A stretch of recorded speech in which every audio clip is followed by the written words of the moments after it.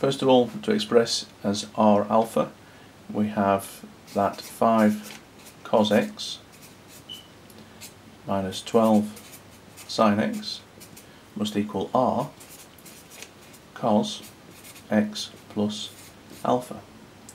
Now r cos x plus alpha can be written as r cos cos plus r sin sin. Pairing up, that cos x must match up with that cos x because the left hand side must equal the right hand side. So therefore r cos alpha must be 5.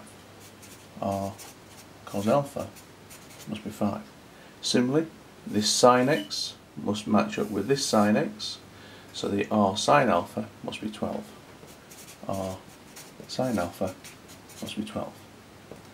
Therefore, r must equal 12 squared added to 5 squared square rooted, which gives us an answer of 13.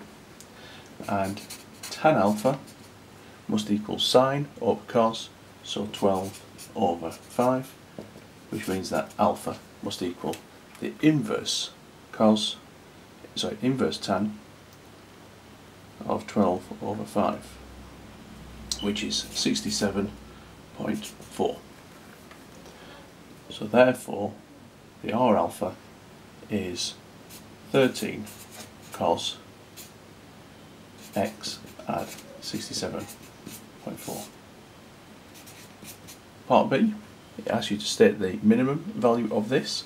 Well, once you've got it in one format, the maximum value of cos is 1, the minimum value is minus 1.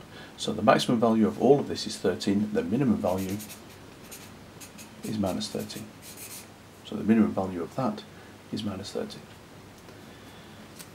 In part C, you have to solve the equation equal to 9, well I can replace that with the cos.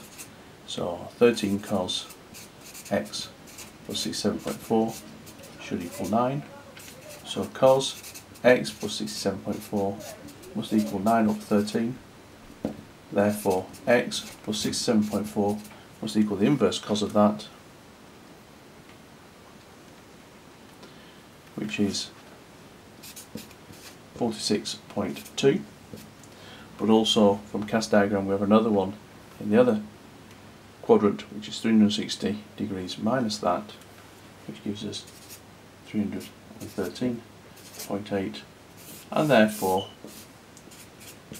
x can equal two answers if I subtract from the 360 the first one there is not allowed, which means that I need to come up with another one. So we have, if I deal with this one first, take 67.4, 246.4. If I take 67.4 of this one, I get a negative answer, which is out of the range.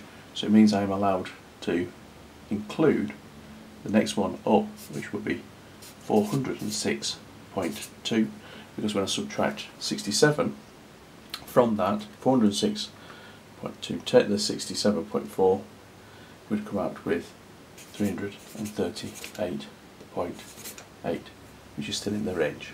So there's my two answers, having written down the three.